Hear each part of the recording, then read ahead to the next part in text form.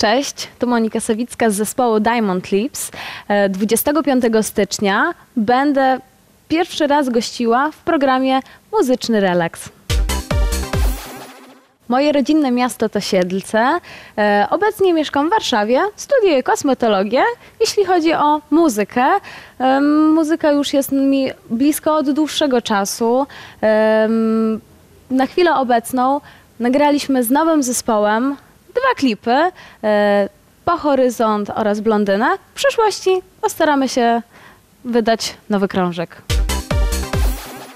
W programie z moim udziałem dowiecie się o genezie, skąd się wzięła nazwa zespołu Diamond Lips, e, o tym, co robimy, jaka jest nasza twórczość, no i troszeczkę kwestii prywatnych. Zapraszam, muzyczny relaks, 25 stycznia, godzina 10.15, zespół Diamond Lips, Monika Sawicka.